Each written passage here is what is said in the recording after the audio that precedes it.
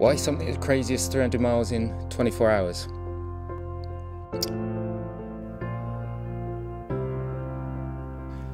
Oh.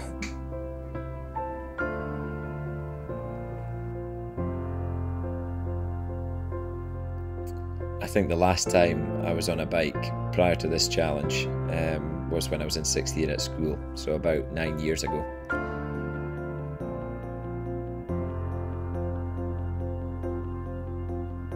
I wanted to do this challenge for MJ um, because I like to challenge myself, and I think uh, pushing yourself to the limits for such a, a worthwhile cause is, uh, yeah, definitely a thing that I want to do and I wanted to be involved in.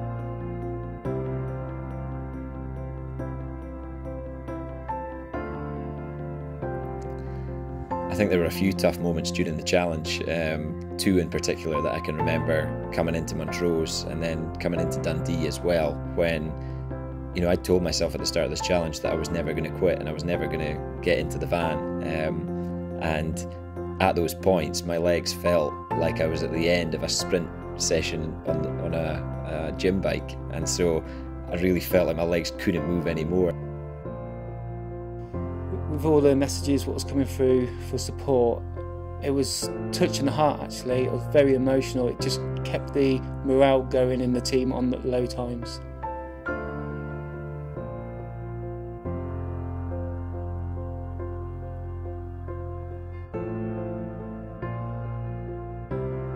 The toughest moment for me during the challenge, I guess, I guess was trying to just keep everybody together and keep everybody motivated. You know, there were some real tough points that um, everybody had to dig in as a team just to get us through. And so, so maybe nothing as an individual, but just everybody just trying to work together. I think that's probably some of the toughest bits, I think.